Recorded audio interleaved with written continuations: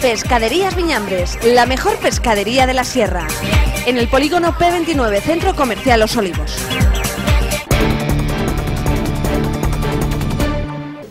Agustín Juárez, alcalde de Collado Villalba, ha presentado esta mañana a los medios de comunicación los presupuestos municipales del próximo año.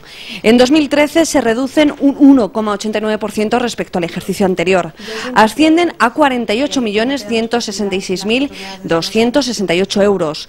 Como se ha venido indicando durante estas últimas semanas, de esta cifra, algo más del 30% está ya predestinado al pago de la deuda pendiente contraída años atrás, como es la obra del túnel y la liquidación de facturas a proveedores y autónomos. En pocas palabras, que el margen de maniobra es escaso, aunque algo se puede hacer.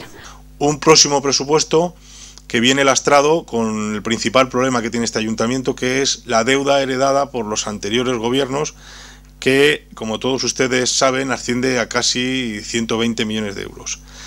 Le vamos a juntar también, dentro de la información que le vamos a dar para la nota de prensa, una ficha exacta de la deuda que el año que viene entre eh, principal e intereses vamos a tener que pagar en concepto de deuda.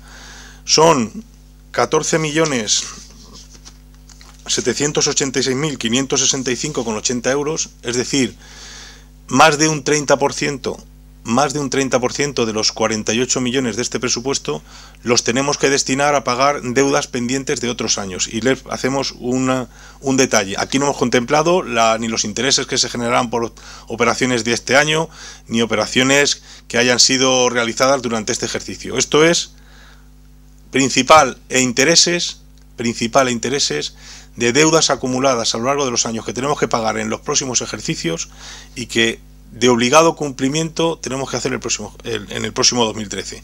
Y digo de obligado cumplimiento porque con la nueva, las nuevas leyes impuestas por el Gobierno de la Nación de control del déficit y nivel presupuestario y control del déficit presupuestario, eh, si no pagamos este importe no lo retienen de las aportaciones que hacemos al Estado. Pese a todo, están asegurados los servicios esenciales y algo que da para la campaña integral por barrios, que llegará a todos los rincones mediante obras de conservación, limpieza, reparación y mantenimiento.